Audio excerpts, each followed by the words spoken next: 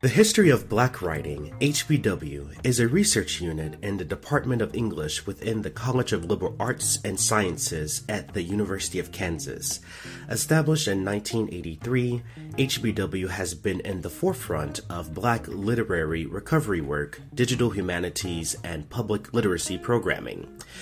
In 2017, Dr. Ayesha Hardison and Dr. Randal Jelks organized Black Love, a symposium at the University of Kansas to celebrate the 80th anniversary of Zora Neale Hurston's novel Their Eyes Were Watching God. The symposium, which included movie showings, discussion panels, and a public reading of the novel, also launched the Soul of Zora exhibition curated by Marla Jackson. A self taught fiber artist and author, Jackson brought together 14 quilt artists to celebrate the writing and life of Hurston in The Soul of Zora. My name is Marla Arne Jackson. I'm an artist, author, executive director of Marla Quilts Inc., the founder of the National African American Quilt Convention, also Underground Railroad, Network to Freedom, the National Park Service. I'm an actual site of living history. What was your process in curating the Soul of Zora exhibition? I wanted to uh, honor, you know, my word, because I told uh, Chancellor Hemenway that I will have an exhibition. And so I said, well, this is the time to, to have this exhibition. So I contacted a lot of my friends and other artists and put a, I put a call out and uh, for, for my exhibition of the Soul of Zora. And then I got an email from um, Dr. Harding and said, would you like to participate in the Love, you know, the Love, um, was a Love show?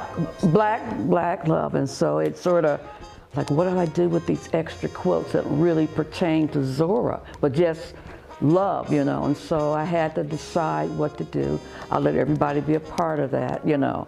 And then I decided we need to separate this exhibition. We need to pull out what pertains to Zora. And so I did that. And you guys had a great symposium and on the Black Love, and you had several people come and interview, and then it was just like icing on the cake to have this great reception combined, and it just it fit perfect for me, you know, and so I was excited about that, and because it just led to other opportunities for us. In this interview with HBW, Jackson discusses her work's connection to Hurston and the technical processes of quilt making at the National African American Quilt Museum and Textile Academy, located in Lawrence, Kansas. How do you develop concepts or creative ideas for your craft projects and exhibits?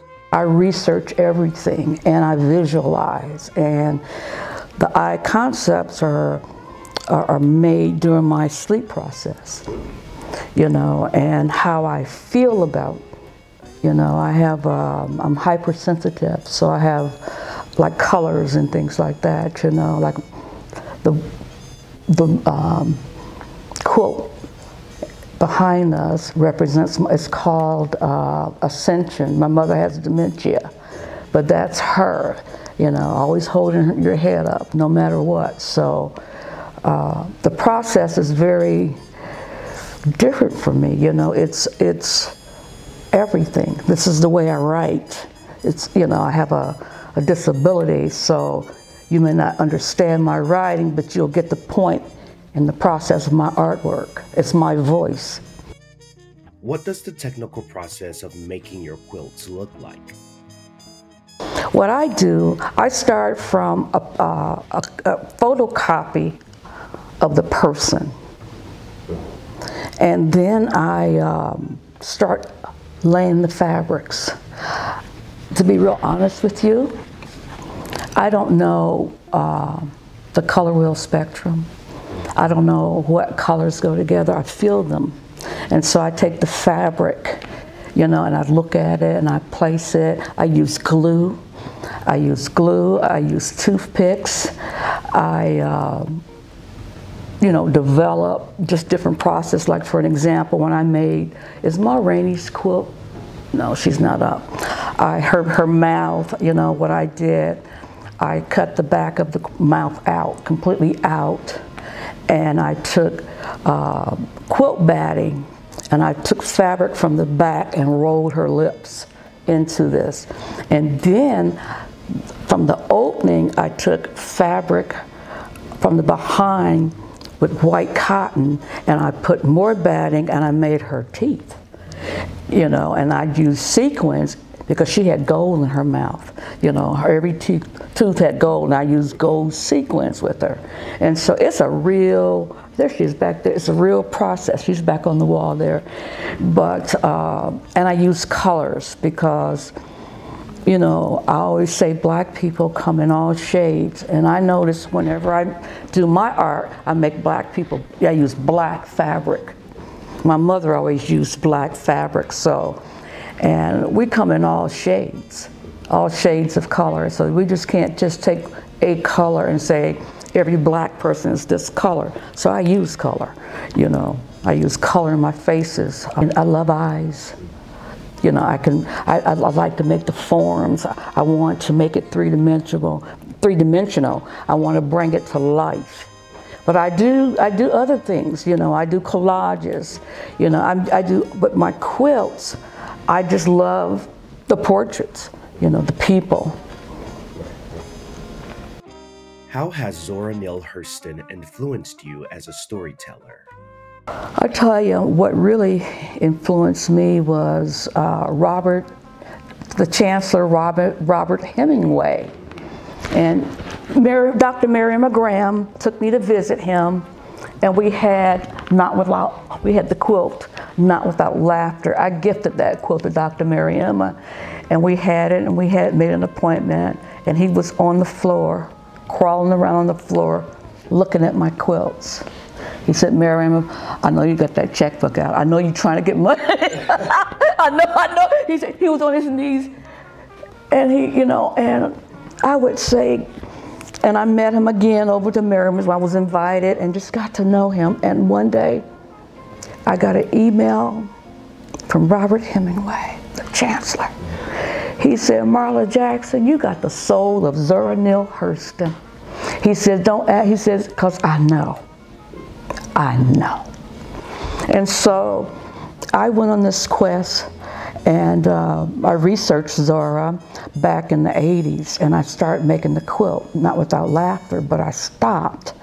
And uh, don't know why I stopped, but I did. But went to visit there, went down to uh, Fort Pierce, got to meet people in the community, got to go to her home, and her. It was the anthropology, the linguistics.